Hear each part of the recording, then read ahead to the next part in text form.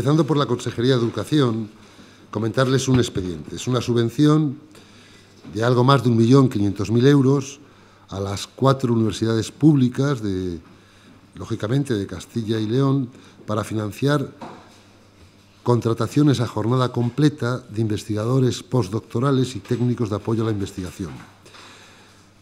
La Universidad de Burgos recibirá 274.000 euros, la Universidad de León 295.000, la de Salamanca 471.000 y la de Valladolid 474.000.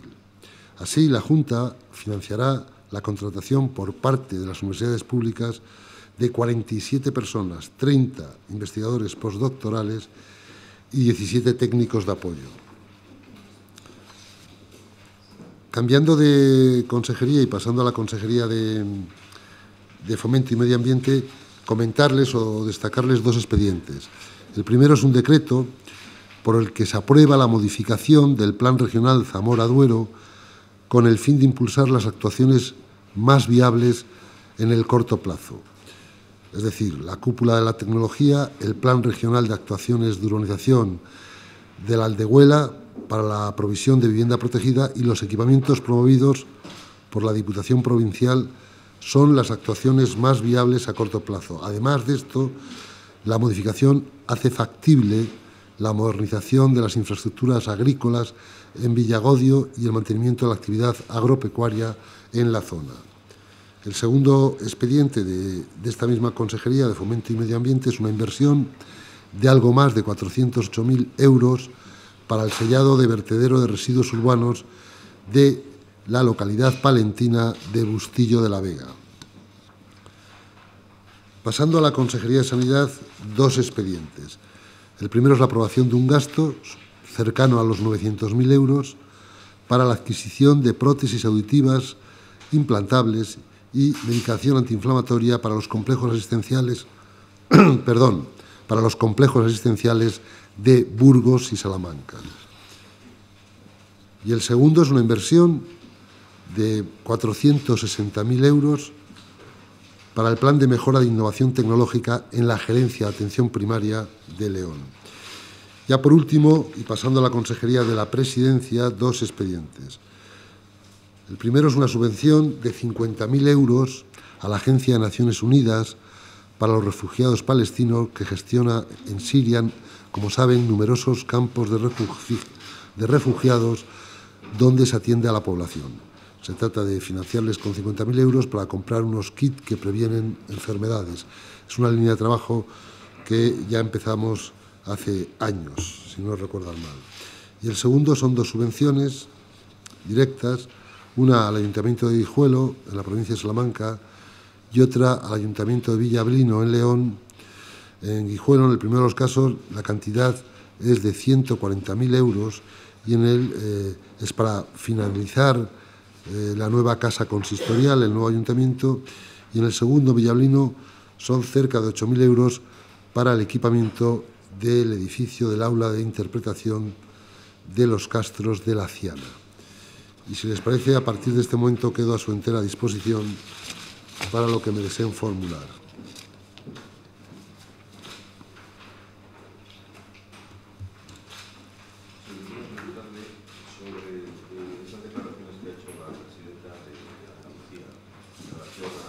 Según ella, algún tipo de, acuerdo entre el presidente del Gobierno, María Rajoy, y Artur Mas, mm, que beneficiaría a Cataluña. Pero eso se lo debe preguntar usted a la, a la presidenta de Andalucía. Yo, no he hecho esas declaraciones. ¿Qué quiere?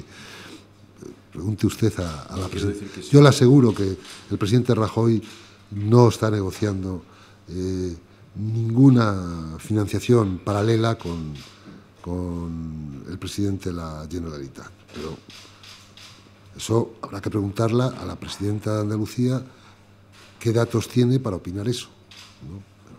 Conociendo al presidente Rajoy, le aseguro, yo creo que está siendo muy firme. Todo lo firme que, que requiere el asunto, porque es un asunto serio, es un asunto muy importante, es un asunto muy delicado para España con el tema del movimiento, vamos a llamarlo independentista catalán, no está negociando paralelamente con el presidente de la Generalitat nada.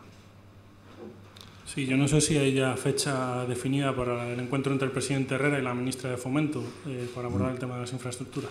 yo, creo, eh, yo creo que todavía no está cerrado. Yo es que no me sé la agenda del presidente de memoria. Creo que es en la segunda quincena de septiembre, pero tengo la impresión que todavía no está cerrada la fecha. ¿eh? Pero eso, no se preocupen que en cuanto esté cerrada la fecha les vamos a informar. ¿no? Sí, el martes en el Congreso se aprobó una proposición no de ley eh, respecto, instando al Gobierno a que elabore un plan, una estrategia global y transversal eh, respecto a la despoblación. No sé si la Junta está satisfecha con esta aprobación o qué valoración hace. No, estamos muy, muy satisfechos. ¿no? Eso es algo, si recuerdan, y yo creo que lo han recordado algunos de ustedes en las informaciones que han ido recogiendo sobre la aprobación de esta PNL, si recuerdan, es algo que surge del movimiento de esas comunidades autónomas, eso que hemos llamado comunidades autónomas eh, por el desafío demográfico, que se inició eh, por Galicia, Asturias y Castilla y León, luego se fueron sumando Aragón, se sumó Castilla-La Mancha, es decir, se sumó Extremadura, es decir, algo que, demandamos, ¿no? Y hemos conseguido que un diputado de Valladolid, de Castilla y León, haya defendido en sesión plenaria en el Congreso una proposición no de ley instando al Gobierno a que considere algo que venimos defendiendo nosotros, el problema de la despoblación como un problema de Estado. ¿no? Y que, lógicamente, participen todos los poderes públicos para hacer frente a ese problema. Pero es algo que, ya hicimos algo parecido, si recuerdan, en el Parlamento, de, en las Cortes de Castilla y León, en otros parlamentos autonómicos de estas comunidades se hizo algo parecido y nosotros solicitamos al Grupo Parlamentario Popular del Congreso que hiciese algo parecido. Y es lo que ocurrió el otro día. Lo que me sorprendió es que solo tuvo el apoyo de UPyD. Eso sí que me sorprendió.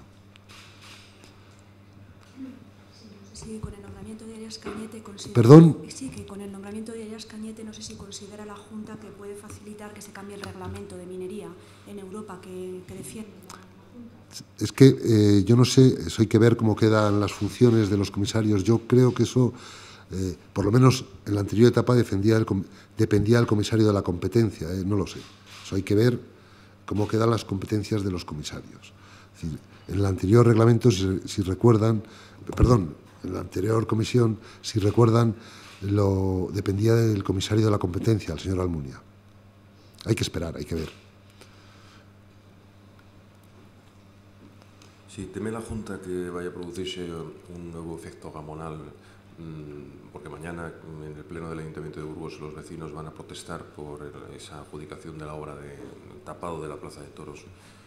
es algo que no hemos tratado es algo que no conozco y es algo que no sé quién, ni siquiera que había salido a concurso, ni siquiera si se había adjudicado. Se puede imaginar que hay temas que, al que no podemos estar permanentemente atentos a las distintas obras que sacan adelante los ayuntamientos. Vamos, no, no, hemos tratado para nada. No lo hemos tratado para nada.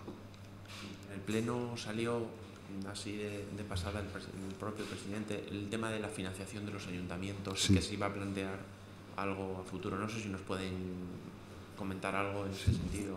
Sí, lo planteó el presidente en el repaso que hizo las prioridades que se había marcado y de los compromisos que había asumido en el debate política general último y también en la pregunta que me realizaba Ana Redondo. ¿no?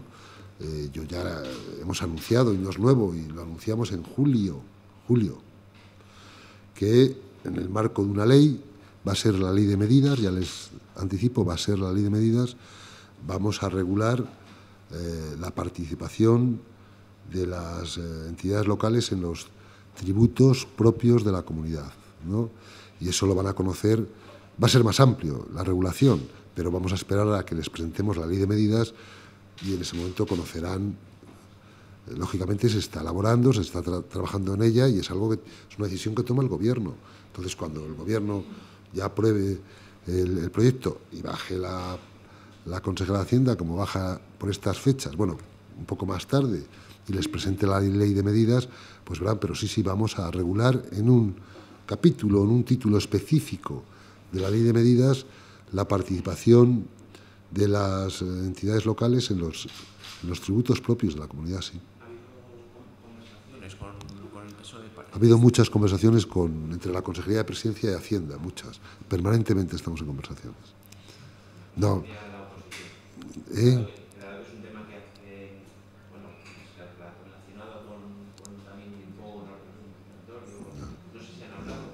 Vamos a ver, vamos a centrar el asunto. Primero, es un mandato estatutario, no es un tema de la ordenación del territorio. Segundo, es, un, es dar respuesta a un compromiso que adquirimos con el secretario general de los socialistas en octubre de 2012, el señor Villarrubia, en el pacto que firmamos con él, octubre de 2012. Luego eso se trasladó a la, a la ley de ordenación y, lo que dice la ley de ordenación, que, que regulemos eso y lo vamos a regular. Lógicamente, eh, primero, todavía no está el proyecto, puede haber contactos con el PSOE y luego, en la tramitación de la ley, no es que pueda haber, es que les va a haber, porque allí es como se tramitan las leyes, ¿no? A, medida que va avanzando en su tramitación parlamentaria. ¿De esta manera renuncian a una ley propia o la dejarían para la siguiente legislatura? No, no es una ley propia, vamos a ver, es una ley.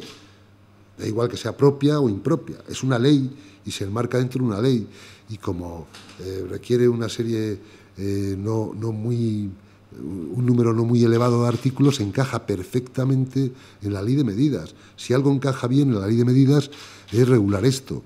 Y además, con eso nos, nos, aseguramos una tramitación rápida. Sabe usted que tanto la ley de presupuesto como la ley de medidas tiene preferencia cuando entra en el Parlamento. No es una tramitación urgente, sino preferente, tiene preferencia y lógicamente con eso garantizamos y aseguramos que antes de finalizar el año, de finalizar diciembre, está aprobado, pero no es que no sea una ley propia, es una ley.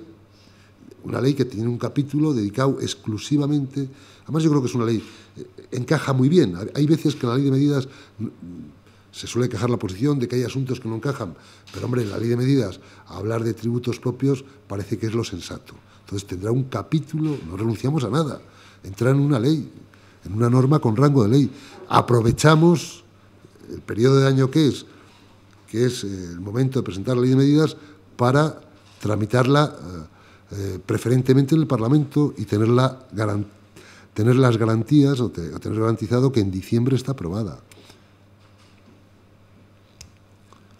¿Qué le parece a la Junta la propuesta de la comunidad extremeña de donar o de dar entregar 300 euros al año a las personas mayores de 75 años. No hemos tratado ese asunto en la Junta. Pero mire, eh, usted me pregunta primero por unas declaraciones de la presidenta andaluza. Eh, mire, nosotros estamos centrados y volcados en Castilla y León. ¿eh? Ahora por unas manifestaciones de, del presidente extremeño, me parece que me ha dicho. Mire, nosotros estamos centrados y volcados, como diría el presidente de Ocicoz, en Castilla y León, en los ciudadanos de Castilla y León. ¿Se sabe ya qué uso va a dar la Junta al edificio que hay en la Plaza de Madrid, antigua sede de la Consejería de, perdón, del Ministerio de Hacienda, de la Delegación de Hacienda? De ese edificio es de, no es de la Junta, ese edificio es del Gobierno eh, de la Nación, es, de la, de la agencia tributaria, no es de la Junta. No había un acuerdo. Estamos, está, está hablando, pero es que usted me pregunta, ¿qué uso va a dar? No es nuestro todavía. Es decir, es cierto y lo conoce usted, lo conocen ustedes, que la, Consejería de Hacienda, que es la responsable del patrimonio de la Administración, está hablando, está negociando con eh, la agencia tributaria, que es la propietaria de ese edificio, como es de otros, en el caso de Salamanca, para ver si somos capaces de llegar a un acuerdo y hacer alguna permuta, algún intercambio, esto por esto. Estamos en eso, pero de verdad, si todavía ni siquiera es nuestro, ¿cómo vamos a pensar? Lógicamente, si se, alcanza ese acuerdo y se consigue hacer eh, esa permuta, siempre pensando en el beneficio de Castilla y León, pues lógicamente le haremos... Eh, eh, ¿qué, uso se va a dar? Pues uso a oficinas, uso para, la administración, para abaratar algunos, algunos gastos que tiene la administración, sobre todo en alquileres, ¿no? pero todavía no está. Primero, es decir, no podemos, no podemos vender la, piel del oso sin tener cazado el oso. ¿no? Primero vamos a ver si somos capaces de llegar a un acuerdo con la agencia tributaria, con el Ministerio de Hacienda, un acuerdo, permutamos, que no, lógicamente, que no, que no sea costoso para la administración de la comunidad de Castilla y León, para, en definitiva para la comunidad de Castilla y León, si llegamos a ese acuerdo, pues eh, lógicamente buscaremos eh, incorporar allí algunos centros directivos, algunos centros administrativos que ahora están en sedes alquiladas y que eso, pues lógicamente es costoso, pero todavía no sabemos. Eh, ¿La idea de la Junta sería trasladar allí las oficinas de la Consejería de Familia? Mire, eso está por decidir, ¿eh? está por decidir. Sí, en la regulación de la participación de las entidades locales en los tributos, aunque está por establecer, eh, sí se fijará para qué tienen que destinar ese dinero, eh, para mantener sobre todo los servicios. Sí, claro, claro. Eso se fijará en la ley, usted lo ha dicho. Se fijará en la ley eh, para qué, a dónde deben ir dirigidos esos fondos. Se fijará en la ley la forma de distribución. Se fijará en la ley cómo participan, con qué peso participan, pero eso, esperemos a la ley. Si quiere que le cuente poco a poco la ley, he dicho que cuando esté la ley cerrada, cuando el gobierno dé visto bueno al proyecto, entonces les vamos a informar. Pero seguro que se va a regular en la ley de medidas, seguro. Pero la idea o la filosofía básica Perdón, la idea o la filosofía básica será que lo dediquen a los servicios públicos, a consistorios, a centros educativos. no, no, no, es distinto, es distinto. Vamos a ver, vamos a ver. Ahí la, la- la- la Junta de Castilla y León tiene varias vías de financiación eh, para las entidades locales. Una es la financiación sectorial, ¿no? que tiene que ver con el acuerdo marco de servicios sociales, que es la mayor cantidad, que se ha firmado, como saben, bianualmente, supera los 170 millones, y esa va dirigida a, eh, financiar la prestación de servicios sociales que prestan las corporaciones lo- locales en su territorio. Esa es una financiación eh, sectorial. Hay otras financiaciones sectoriales en los presupuestos. Les recuerdo que anualmente suele aparecer también como financiación sectorial líneas que van dirigidas a las entidades locales para eh, planes de empleo en sus territorios, eh, sobre todo muy dirigidos al mundo rural, también al urbano. ¿eh?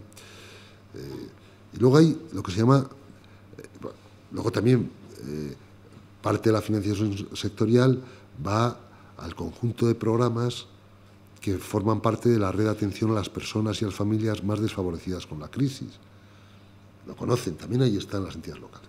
Y luego está la financiación general. Estamos hablando de la parte de la financiación general, que es la que se gestiona desde la consejería, en este caso de la presidencia, la consejería competente en materia de cooperación local.